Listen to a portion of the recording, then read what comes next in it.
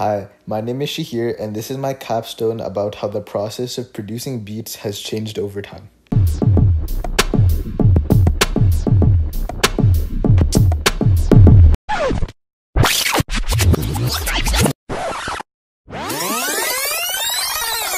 Regardless of the genre, whether it be pop, hip hop, R&B, or even metal, every song has something in common. What is it, you may ask? Why, it's the fact that they all have rhythmic patterns in the background. These are also known as beats.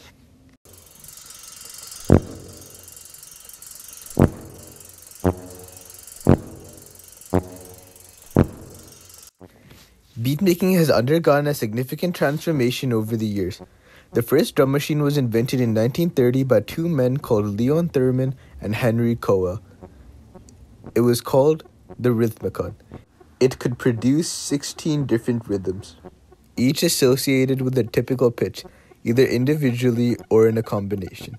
Unfortunately, there was only one copy of it in existence, and so it was not available for sale to the general public.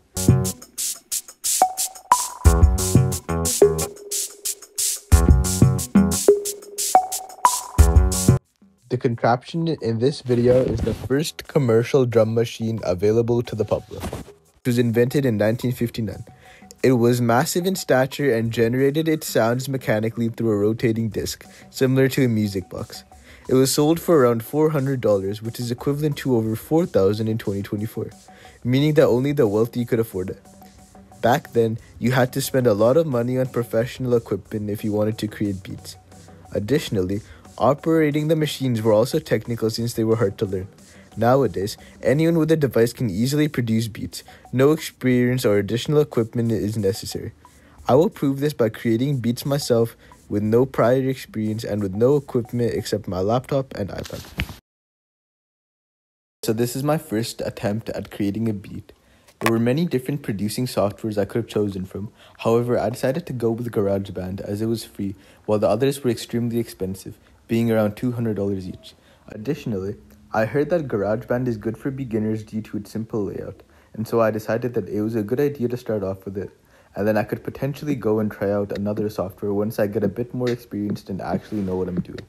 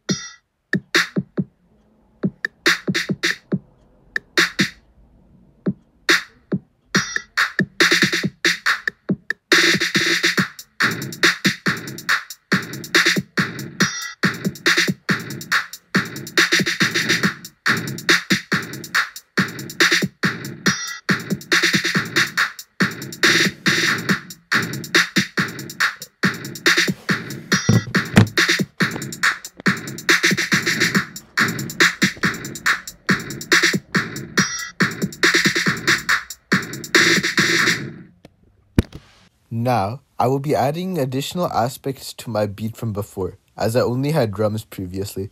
I felt that the beat was too simple and lacked something. This should hopefully help with that.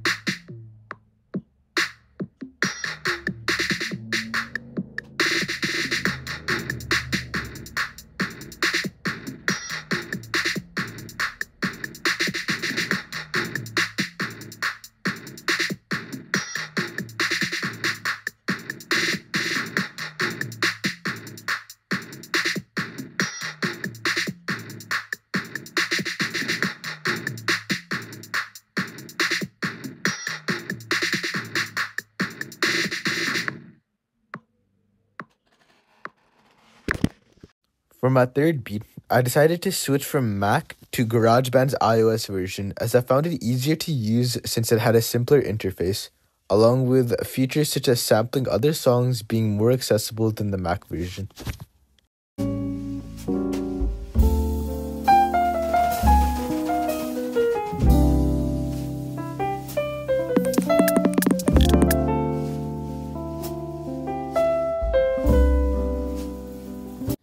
Next, I will be adding pads into my beat, which are sustained notes that are used to provide harmonic depth in the background. If you have just the drums, the beat sounds extremely basic and empty. Adding pads helps to balance the sound out and makes it flow nicer.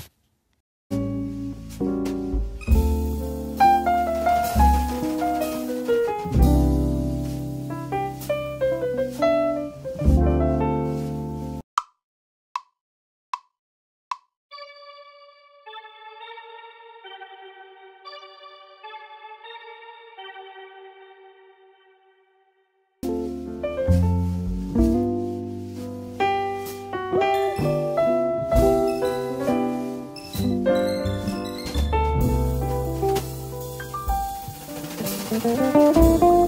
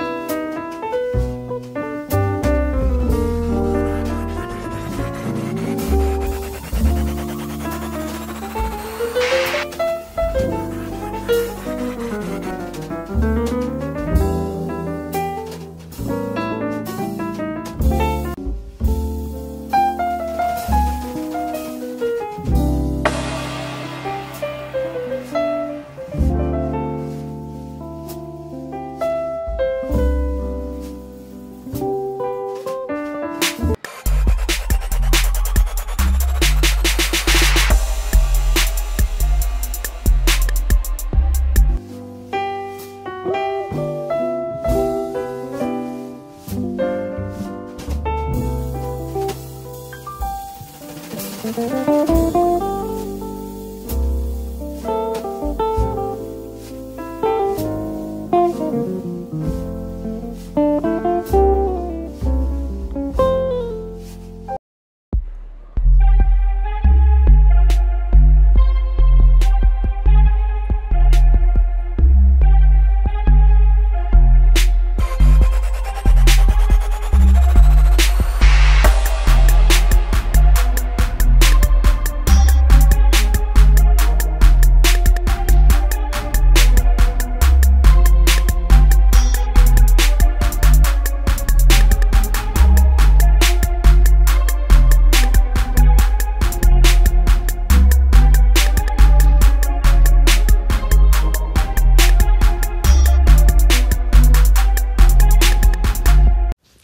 learned from this project is that making beats is relatively simple. All you have to do is download a producing software and watch a few tutorials. However, making good beats are still challenging. Although my latest beat is much better and includes many more elements than my first, it is still not nearly as good as I would have liked. Next, how did I learn? I learned by watching guides on using GarageBand and figuring things out by myself through experimenting with the software. Lastly, I showed my learning through creating this entire project and showcasing the beats which I made. Thank you for your attention.